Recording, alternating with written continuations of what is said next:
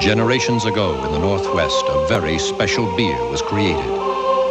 But there was nowhere to drink it. Immediately, our forefathers sprang into action, building softball diamonds, skating rinks,